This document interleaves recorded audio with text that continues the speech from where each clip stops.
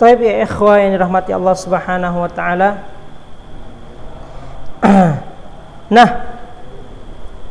uh, sensor yang berada di sisi-sisi uh, apa namanya ikan ini, ya, yang berada di tubuh sisi ikannya, ya.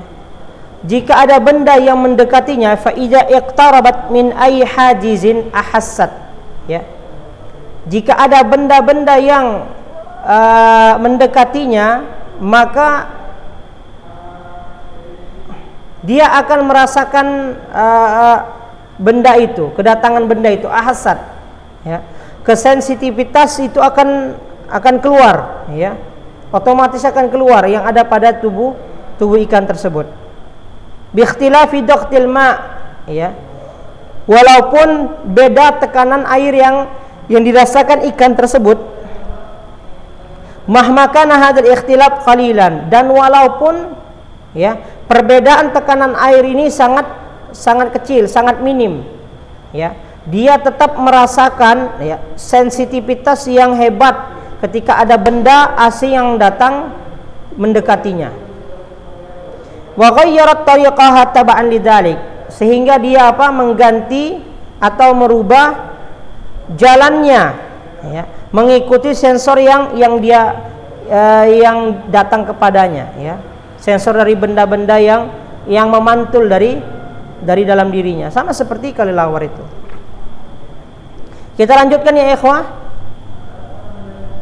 Innal kauna haulana yazkharu bil ayati bil ayati dalati ala wahdaniyatillah sesungguhnya uh, alam yang ada di sekitar kita ini ya yazkharu bil ayat ad-dala wahdaniyatillah.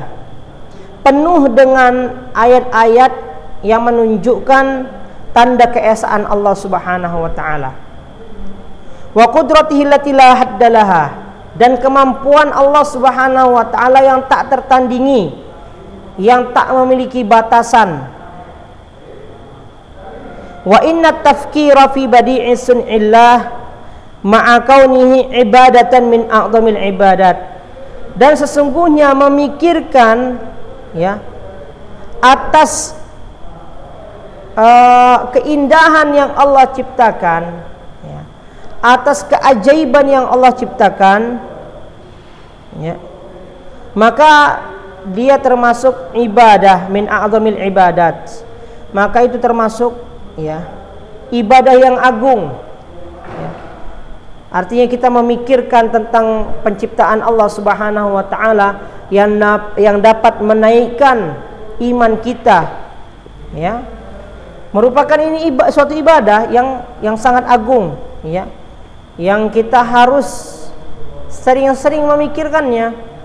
Kenapa Allah Subhanahu wa taala menciptakan telinga bagi kita tapi kemampuan pendengarannya terbatas.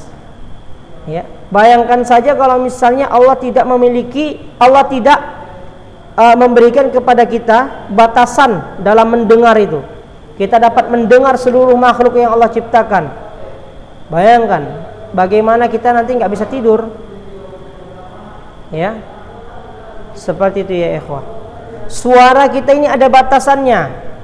Jangkauannya ada batasannya. Bagaimana suara kita ini ya bisa terdengar bisikan yang yang pelan itu dapat terdengar. Nah, kan bagaimana jika itu terjadi? Penciuman kita sensitif sekali.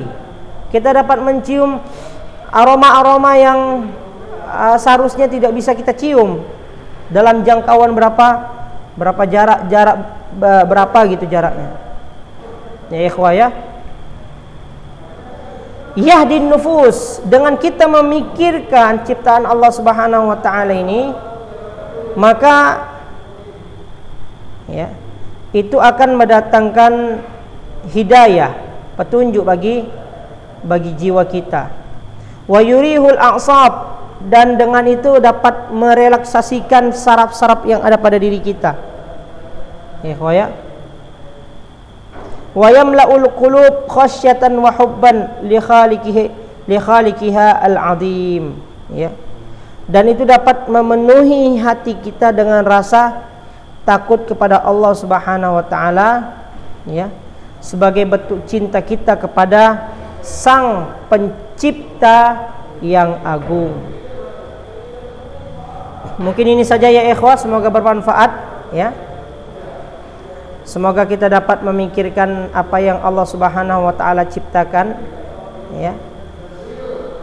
Dan menjadikan hal itu sebagai imun kita untuk meningkatkan iman kita. Ya.